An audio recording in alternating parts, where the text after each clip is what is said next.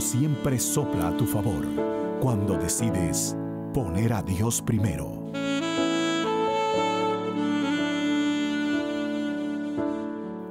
Aquí inicia Querigma de Amor, un espacio para conocer la misericordia del Señor. Presenta el Padre Teófilo Rodríguez. Bienvenidos.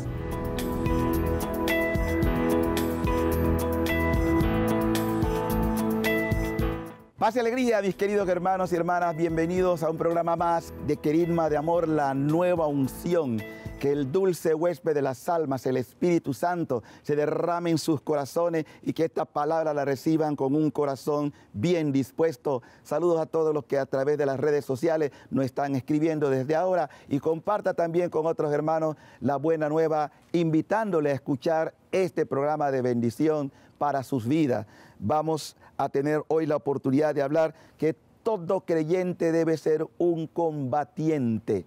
Vamos a desarrollar este pensamiento ya que mucha gente no es consciente de la lucha que está librando y cómo poder sostenerme en medio de la batalla para estar firme y no claudicar y no apartarme de aquel que me alistó a ser parte de este ejército en la batalla espiritual. Para eso quisiera recordar que desde el momento que somos bautizados y posteriormente recibimos el sacramento de la confirmación, nosotros entramos en una batalla espiritual. Cuando hablamos de batalla espiritual, estamos eh, reconociendo que en este mundo no es el paraíso. A veces la gente tiene el deseo de pensar de que ya aquí lo es todo. No es malo aspirar, eso lo hemos hablado en otros programas, la gente tiene que tener proyectos, tener una buena casa, una bonita familia, eh, una buena economía, en fin, eh, un lugar donde vivir dignamente. Pero resulta que aunque podamos gozar de estas cosas, siempre se van a entrelazar situaciones adversas. Siempre vamos a experimentar crisis económica, momentos de, altura y también momentos de bajas situaciones eh, a nivel económico, familiar, enfermedades, tribulaciones, todos. Nadie está, diríamos, absuelto de vivir ante estas realidades que son cotidianas en unos más, en otros menos, pero no hay vida sin conflicto, no hay vida sin problema, no hay vida sin dificultades y batallas. Ahora, si eres cristiano, y aunque muchos lo ignoran, tienes que estar clarito de que la vida va a suponer estar entrenado. Miren, aun cuando un país no esté en guerra, ¿usted se ha preguntado si el ejército deja de practicar? ¿Cómo va a poder combatir una nación que no tiene un ejército bien formado, bien educado? Siempre están en prácticas militares. Eso en el orden humano. Y en el orden espiritual, aunque usted no esté viviendo en un conflicto declarado abiertamente, por eso usted va a bajar la guardia. Pues yo quiero que usted sepa que aunque no estemos físicamente en un conflicto que se ve, siempre vamos a estar en un conflicto que no se ve, de situaciones que nos quitan la paz, porque hay muchas cosas que nos pueden quitar la paz, hay muchas cosas que nos llevan a tribulación, hay muchas cosas que nos desesperan, que a veces nos preguntamos, ¿dónde está Dios? De esto es lo que hablamos nosotros en lo que es la tensión y una guerra interior, porque esa guerra la, la sostenemos todo entre el bien y el mal, entre lo que conviene y no conviene. Para eso quiero que sea la palabra de Dios la que nos dé la luz. En el Evangelio de Mateo, el capítulo 11, Jesús habla a los suyos y dice lo siguiente, yo les digo, entre los hijos de mujer, no se ha manifestado uno más grande que Juan Bautista. Y sin embargo, el más pequeño en el reino de los cielos es más que él. Desde los días de Juan Bautista hasta ahora, el reino de Dios es cosa que se conquista. Y los más decididos son los que se adueñan de él. Palabra del Señor. Nos está hablando de que en los días de Juan Bautista, es decir, recuerden que Cristo, antes de incursionar públicamente, Juan, que es el precursor, Juan el Bautista, ya entramos en una tensión, en una tensión porque el reino de Dios va a introducirse. Cristo introduce el reino de Dios, pero esto no va a estar exento de conflicto, exento de dificultades. El mismo Señor en sus predicaciones nos advirtió que en el mundo tendríamos tribulaciones, pero que tuviéramos confianza, porque Él vence el mundo. Y los que están unidos a Él vencen el mundo. Pero eso no quiere decir que no vamos a tener conflicto.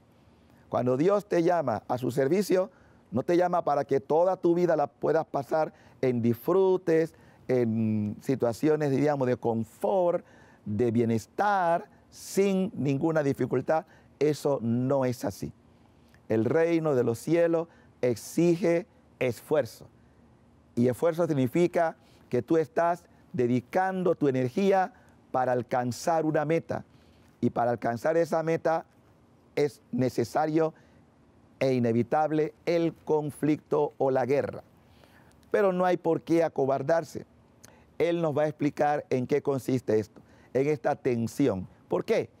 Porque existe el enemigo, existe la influencia del mundo que no piensa ni siente como Dios, pero también existe la guerra que hay dentro de cada uno de nosotros. Sabe que cada uno de nosotros, tú que me estás escuchando y viendo, también tiene un conflicto interno. Por una parte, tú quisieras hacer cosas buenas, pero a veces termina haciendo cosas que no hubieras deseado, ¿verdad? Ese es un conflicto. Por eso Pablo dice, ¿quién me librará de este cuerpo que me lleva a la muerte? ¿Quién me librará? Pero él también entiende que es la gracia, ¿no? Hay cosas que no podemos lograr sin la gracia de Dios. Eh, él tenía también una debilidad que le pide al Señor que se la quite, pero el Señor le, le advierte, te basta mi gracia, en la debilidad reside la fortaleza. Ahora, ¿es una desventaja conocer cuál es mi debilidad? De ninguna manera. Es bueno. Todos tenemos un talón de Aquiles, es decir, una debilidad. Conócela, trabájala, pero para eso tienes que ejercitarte, tienes que prepararte, y vamos a tratar de que en este programa te podamos dar herramientas para combatir y resistir en esta lucha interior que todos sostenemos. No te apartes del televisor, ya volvemos en poco.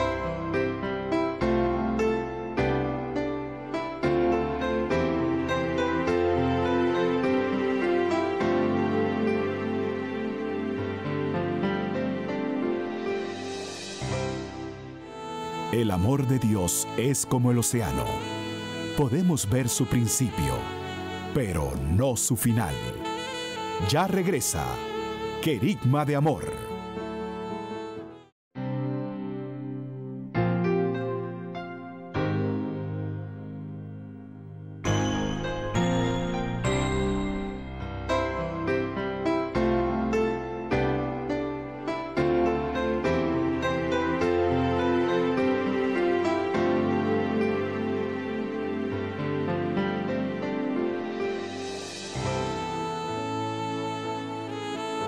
Ya estamos de regreso en Querigma de Amor, la nueva unción.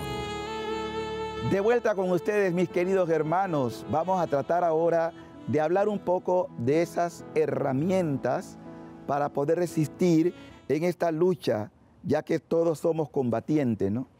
Miren, eh, la escritura tiene para todo, es decir, inspira en todo, en todas circunstancias de la vida.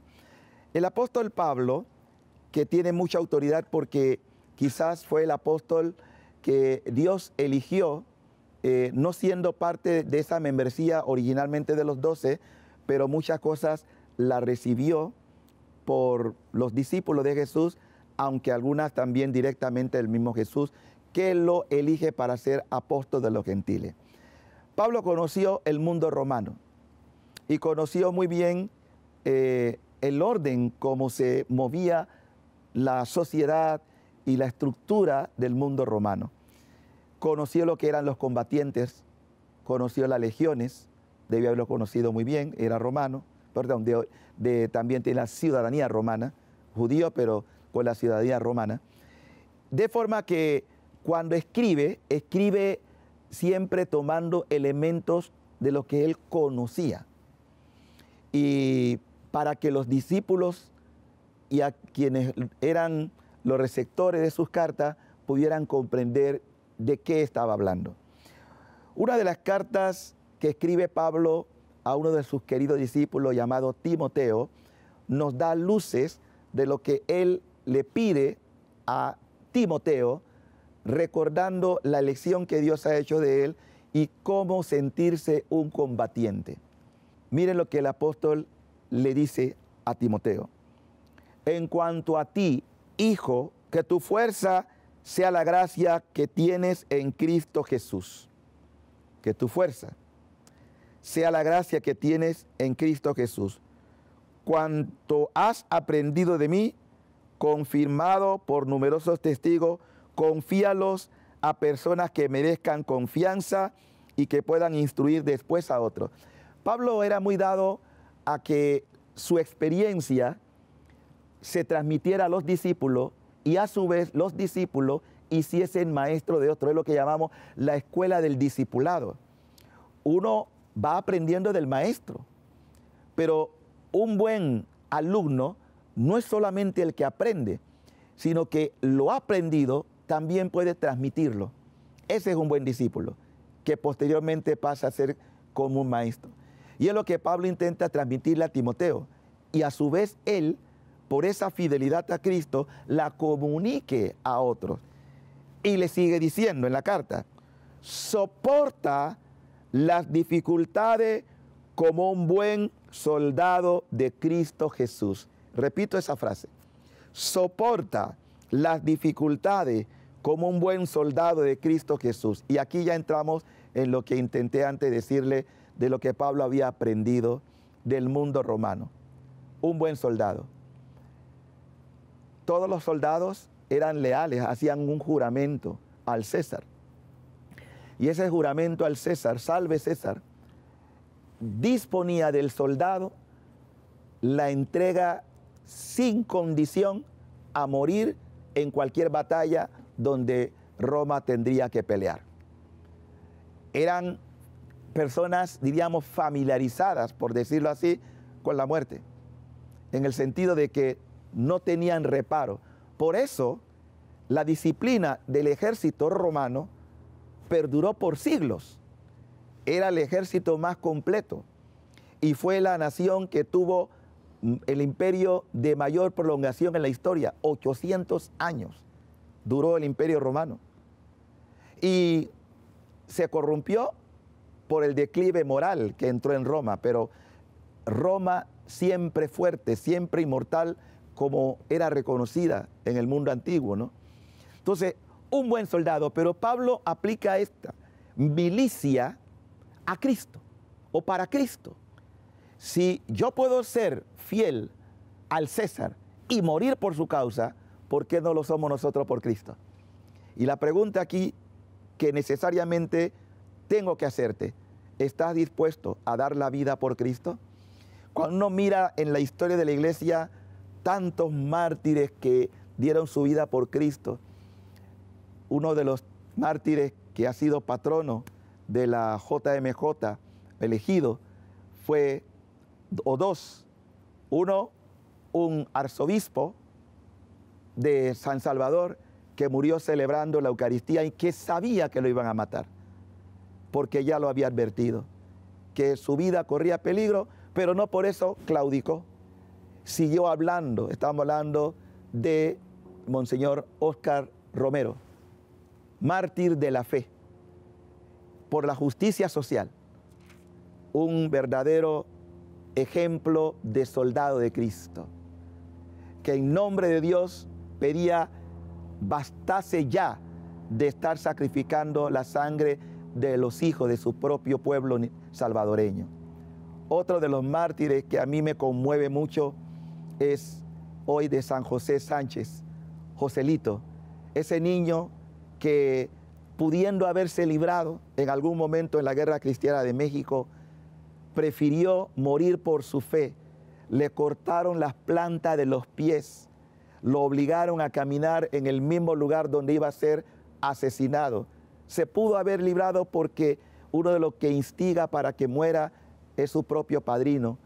Y él al grito de viva Cristo Rey, viva la Virgen de Guadalupe, es sacrificado. Es un ejemplo preciosísimo de santidad, un soldado de Cristo. Así la lista es interminable. Pero cuento esto porque hoy yo siento que necesitamos gente así. Gente que no diga soy cristiano. Gente que esté dispuesta a morir por lo que cree. Porque lo que avala el testimonio no es lo que digo con mi boca, es lo que confieso con mi vida. Y Cristo necesita soldados apasionados. Soldados de estar dispuestos a decir, por tu causa muero, Señor. No con venganza, sino incluso perdonando a los verdugos, perdonando a los que nos desean el mal, para mostrar al mundo que en nosotros activa la acción misericordiosa de Dios y que tiene la palabra oportuna. Soporta las dificultades como un buen soldado de Cristo. Así es tu vida. Soporta el problema que estás viviendo confiando en la misericordia de Dios. Eres testigo de Él. Estás dispuesto a sacrificarte por Él. No es que todos vamos a morir mártires, pero todos seremos testigos de un martirio, sea cruento o incruento. Lo importante es la fidelidad. Vamos a seguir hablando del tema. No te aparte del televisor, volvemos en poco.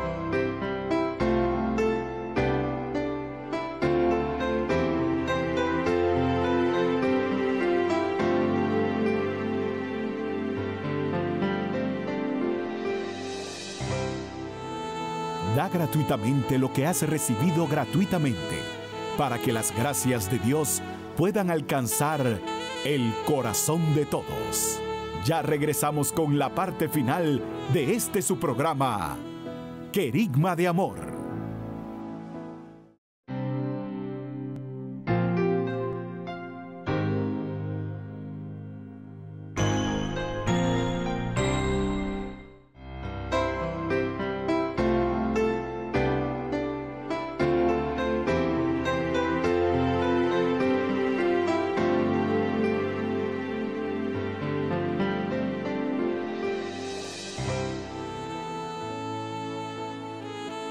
Ya estamos de regreso con la parte final de su programa, Querigma de Amor. De vuelta con ustedes, mis queridos hermanos, en su programa Querigma de Amor, esperando que de verdad esta palabra de Dios esté penetrando tu corazón y que te anime a ser como los nuevos defensores de la fe, dispuestos a derramar la sangre de ser necesario por lo que creemos. Como lo hemos dicho, un señor Arnulfo Romero, Joselito de México, entre otros tantos, porque hay muchísimos, la lista es interminable. Decíamos, todo creyente debe ser un combatiente, no porque nosotros estamos para eliminar personas, matar personas, sino para dar vida.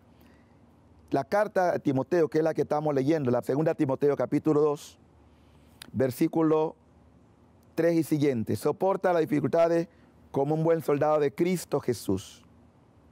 Y añade el apóstol, el que se alista en el ejército trata de complacer al que lo contrató y no se mete en negocios civiles. Pablo está hablando de una realidad humana. Claro, hoy por ejemplo, sabemos, y siempre ha sido así, existen mercenarios, personas que dicen, bueno, yo te voy a pagar pero para que tú hagas este trabajo. Existen los sicarios y se les pagan por un trabajo. En el caso de lo que Pablo intenta transmitir de estos soldados romanos que recibían su salarium, se les pagaba también en algunos casos con sal, salarium, de ahí la palabra salario, y eran fieles a quien lo había listado. En este caso, el emperador romano, que tenía ya la facultad, como dije, también hacían el juramento al César. ¿Y qué se pide del soldado? Que sea fiel. Sé fiel hasta la muerte. Se alista para complacer al que lo contrató.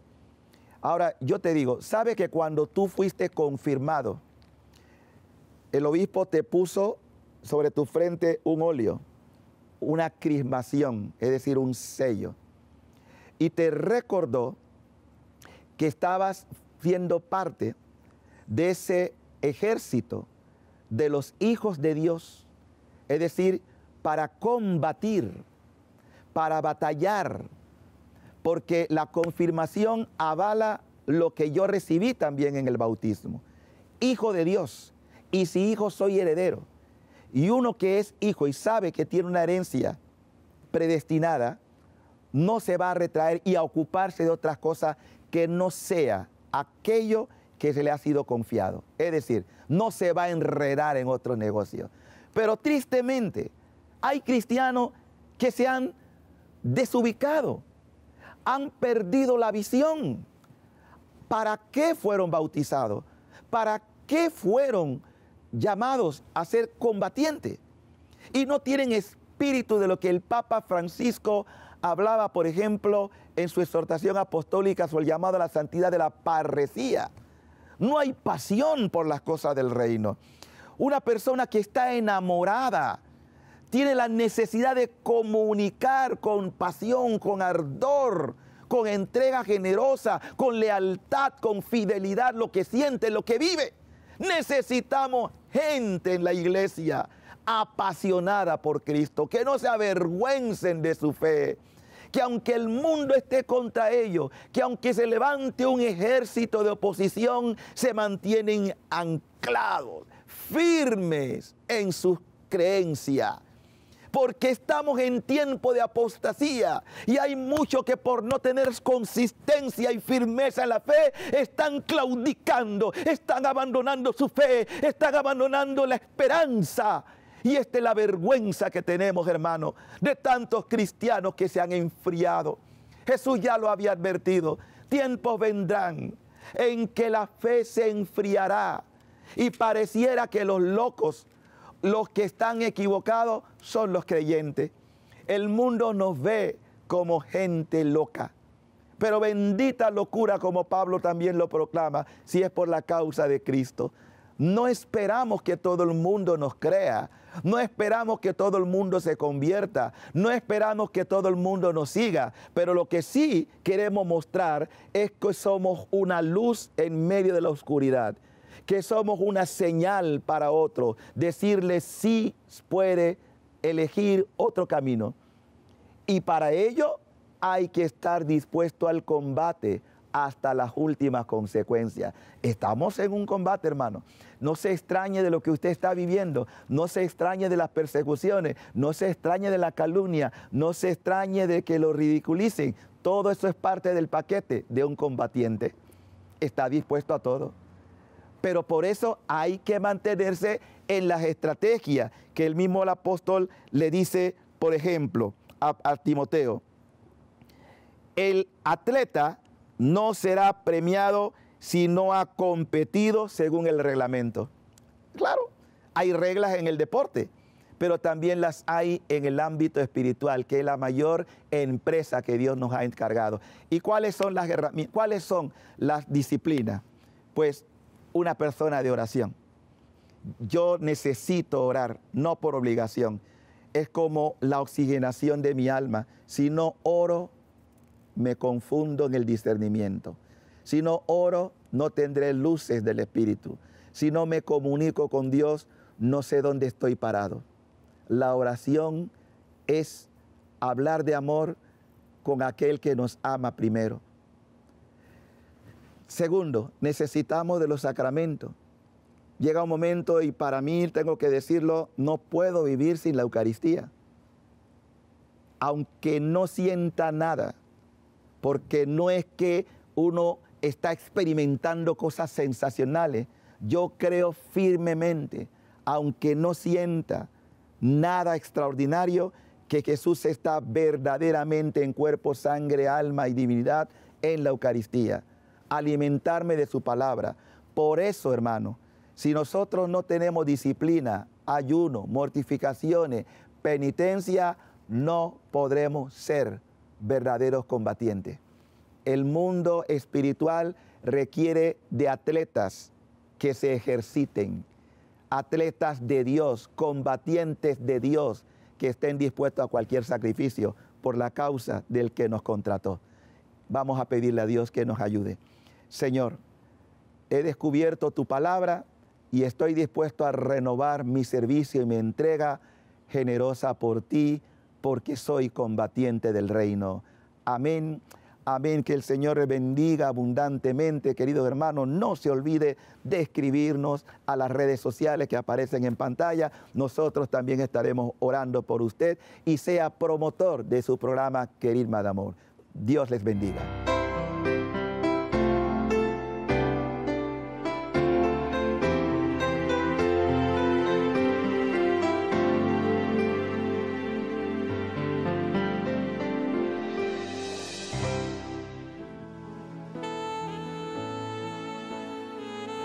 Dios borra tu pasado, restaura tu presente y bendice tu futuro.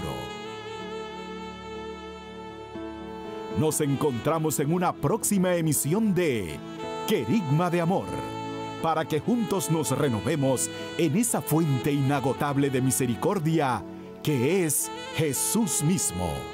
Gracias por tu compañía.